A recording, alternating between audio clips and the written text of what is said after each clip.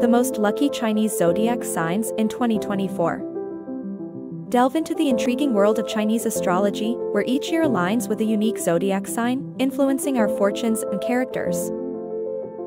As the new year approaches, we embark on a journey to discover the most fortuitous Chinese zodiac signs for 2024. Brace yourselves as we unravel the destinies of each sign and the abundance that awaits them in the new year. 2024 in the Chinese zodiac represents the wood dragon, symbolizing a promising year filled with potential and prosperity. However, not all signs will share an equal slice of this fortune. Let's unravel the luckiest zodiac signs in this auspicious year. The luckiest zodiac sign in 2024 is the pig, known for their inclination towards wealth, hard work, and passion to enjoy life's finer things.